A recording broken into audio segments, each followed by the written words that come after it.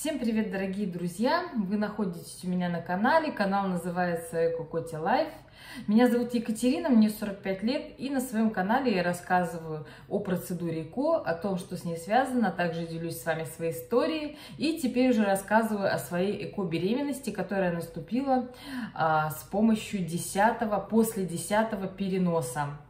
Вот, э, всего я ЭКО занимаюсь уже 5 с лишним лет – но это отдельная история. У меня есть видео про это, история моего бесплодия. Кому интересно, пожалуйста, посмотрите. А, сейчас э, будет речь о том, какой у меня ХГЧ пришло вчера вечером. И, наверное, вы уже э, видите, что я такая радостная, довольная. Поэтому с ХГЧ могу сказать, что все в порядке. А, в 10 вечера прислали э, ХГЧ, около 10 вечера. И оно было 2548 на 20 день после переноса. Напомню, что на 15 день после переноса оно было 446.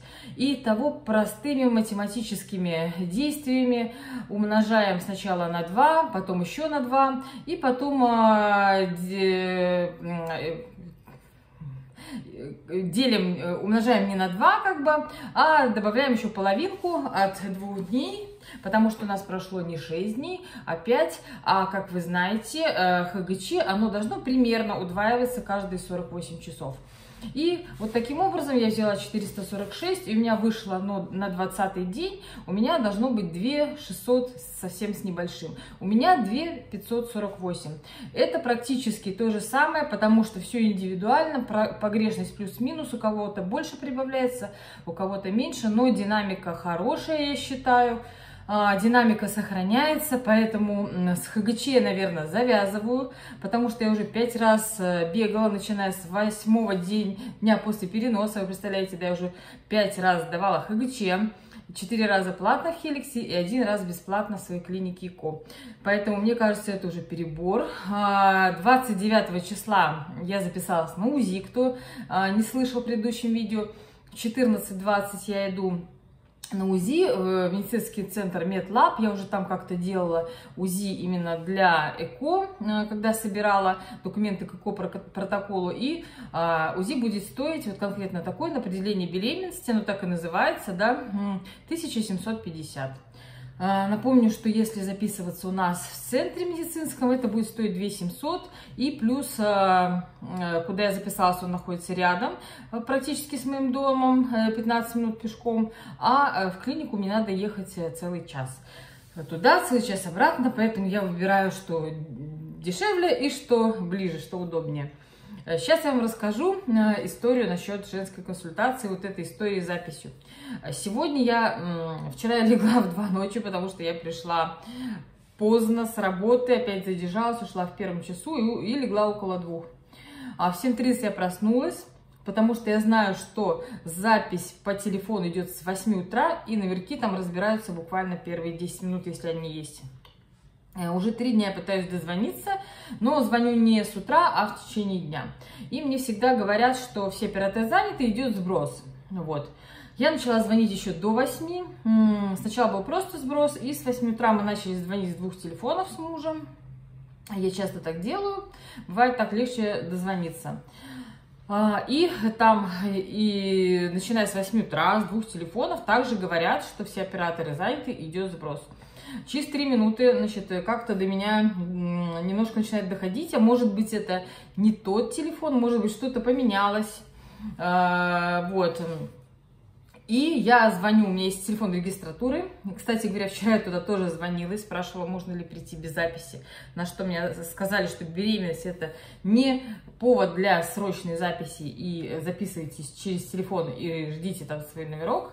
Я звоню, э, долго-долго не берут, потом взяли с таким недовольным голосом, и я спрашиваю, какой у вас телефон для записи.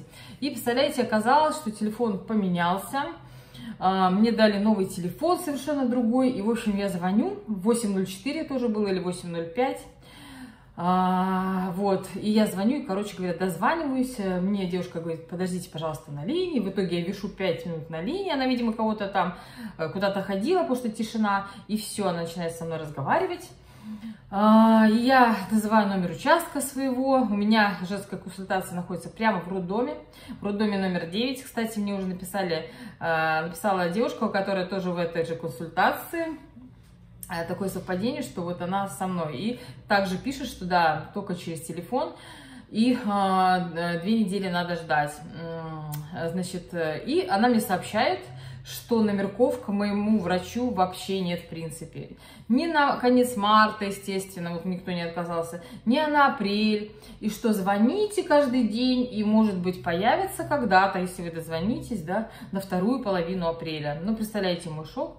А, говорю, что, а, вы знаете, у меня такое срочное дело, у меня я хочу стать на учет и получить справку о легком труде, потому что я беременная, у меня тяжелая работа физическая, мне надо вот получить эту справку, и я не могу ждать там вот э, середины или конца апреля, еще непонятно, когда эти номерки появятся, никто не знает. А, на что она сказала, ну давайте посмотрю к другому врачу. Я думаю, господи, а, только бы было поближе, да, поближе время какое-то. И она записала меня к врачу, фамилия, кстати, Шпак, интересно, да, как у одного блогера. Э, вот, я сразу улыбнулась, мы с мужем поулыбались, и она говорит, вот есть номерок к Шпак на 31 марта на 16 часов. Я говорю, беру, беру, беру, все, пойду. А, пожалуйста, запишите. Вот, в итоге я иду не к своему врачу, я еще не читала про этого врача отзывы, вот, я сидела, думала, может быть, поменять врача. Есть же такой, да, вариант. Не очень мне нравится врач, который именно у меня на участке. А, вот, э, поэтому я начала уже с утра, когда стала читать отзывы про других врачей. Ну, вот про конкретно этого врача я отзывов не нашла, ну, потому что у меня не было времени там особо про всех читать но обязательно почитаю, да, если она понравится мне, так я у нее останусь. Так что имейте в виду, дорогие друзья, если вам не нравится свой участковый врач, вот сейчас есть такая а, как функция или есть возможность такая поменять а, врача, даже не просто вести беременность, а просто даже наблюдаться по заявлению это делается или нет, я узнаю, но э, у меня уже знакомые подружки, они так делали. И если вам врач не нравится, вы можете в этой же консультации выбрать другого врача. Вот такие хорошие у меня новости.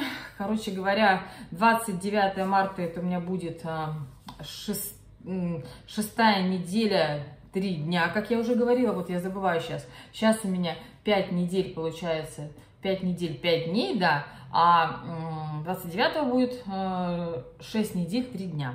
И я очень-очень надеюсь, что будет сердцебиение. Примерно я начинаю считать, да, а, если сегодня 24, а, значит, завтра 25 марта, 25 марта уже должно быть 5 тысяч, 27 марта уже должно быть ХГЧ 10 тысяч, и 29 уже должно быть, по сути, 20 тысяч. А, кто-то мне писал, что достаточно ХГЧ 1000, но я думаю, все-таки это мало, кто-то писал, вообще не зависит от ХГЧ. Пошли с маленьким ХГЧ, увидели сердцебиение. Э, кто-то пошел с большим, не увидел, увидел позже. Написали мне девочки, что 7 тысяч достаточно. 7 тысяч у меня буквально уже будет, по моим расчетам, завтра. И вчера мне написали, что 30 тысяч надо для сердцебиения. Но у меня будет 20 тысяч, как бы 30 тысяч у меня еще не будет на 29 число точно. Вот, поэтому как бы не знаю, как бы связано, не связано это. Может быть, э, ХГЧ связано именно с моментом прикрепления. А у кого-то позже, да, прикрепляется, имплантируется, у того позже вырабатывается. Либо какие-то особенности организма, что у кого-то больше, э, быстрее разгоняется, у кого-то медленнее. Я э, не знаю. В общем, пойду 29-го.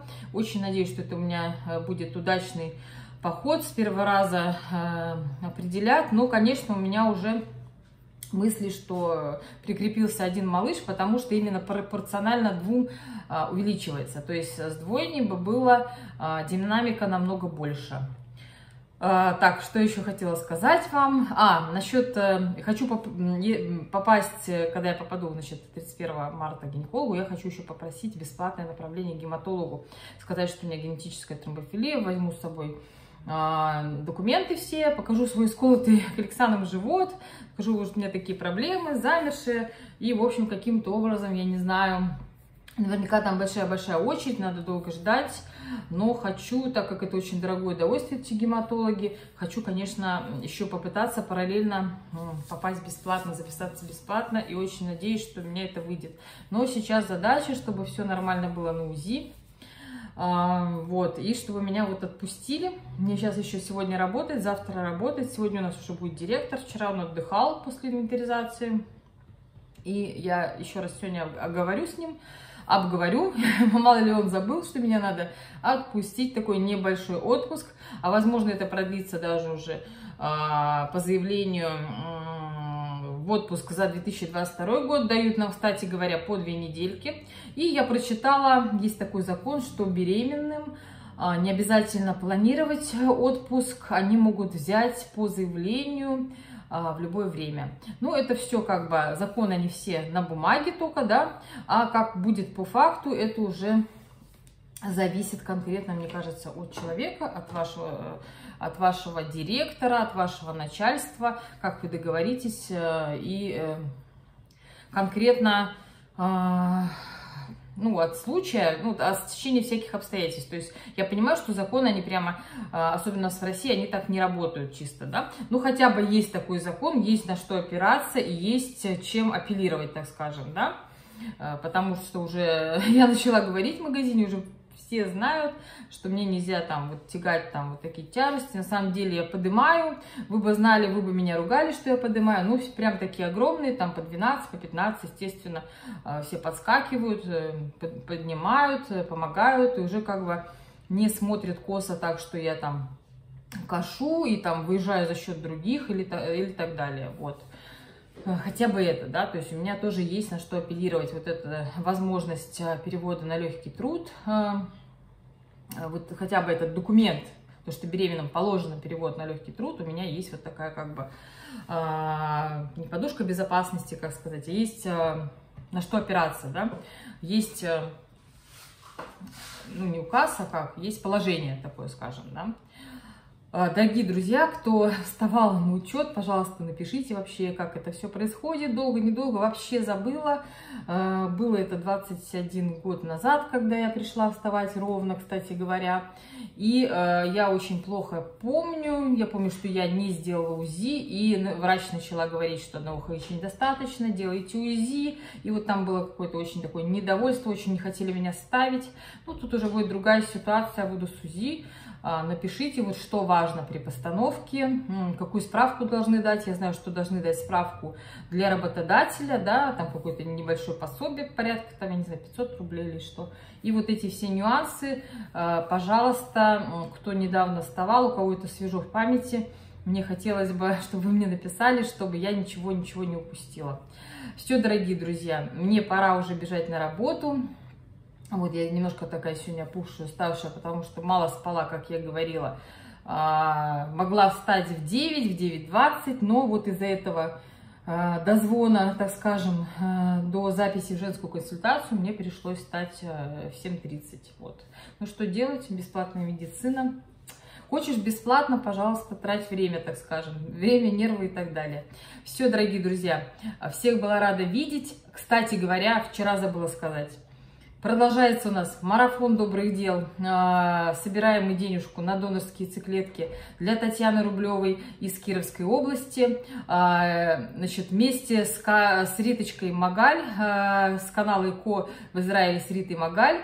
Ссылку я на канал Риты, кстати говоря, оставлю в описании. Кто еще не подписался, обязательно подпишитесь. И оставлю ссылку на прямой эфир, который Рита недавно провела, буквально два дня назад, с Татьяной и ее мужем Владимиром. И там они отчитываются, сколько денежек им поступило. А, на данный момент я знаю, что уже пришло 42 800 и еще готовится переслать э, сумма 100 долларов. Уже ее передали и это только вот технический момент. Но этого как бы недостаточно еще пока на донорские циклетки, которые стоят 120 тысяч, но уже достаточно для донорского эмбриона. Вот. Там как раз Татьяна и Владимир, они э, показывают э, свой телефон с этой суммой, они благодарят э, всех, кто принял участие, всех, кто откликнулся.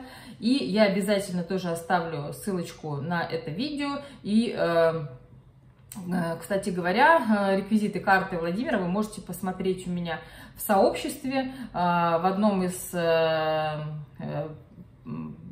пост я писала, и там как раз есть реквизиты его карты. Если надо, кому надо, пожалуйста, пишите в комментариях, я тоже вам а, скину. Все, дорогие друзья, прощаюсь с вами, всех была рада видеть.